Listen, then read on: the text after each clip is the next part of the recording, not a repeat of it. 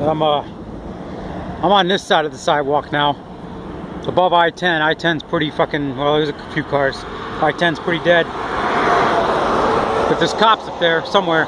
Way up there, there's cops. Somebody's rights are probably getting violated up there. I'm about to walk up there and see what the hell's going on. Because I'm a nosy prick. That's just the way it is. Alright. I'm here in San Antonio, Texas. What the fuck? Oh, it looked like a wallet sitting there on the side of the road here. I didn't get Burger King. I went and got Popeyes instead. I'm gonna cross this road here.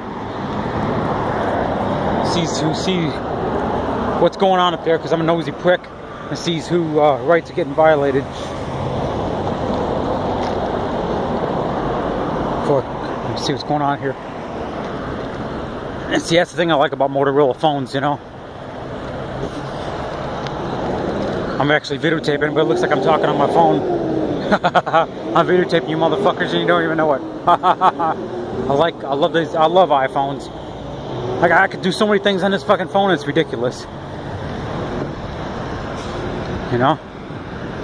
So many things I could do on this phone, it's fucking ridiculous. I got so many apps on here already loaded. I got a CB radio on here, which it doesn't work for shit. I gotta get a real radio. I got all kinds of things.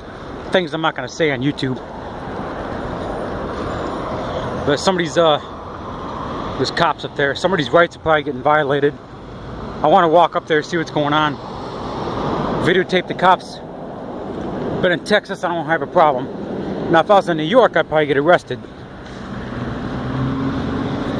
But this is Texas. So, yeah.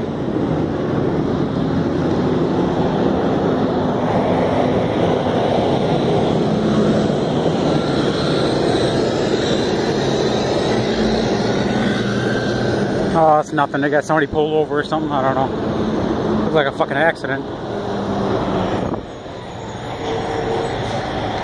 Oh, I got a fart. Oh, shit.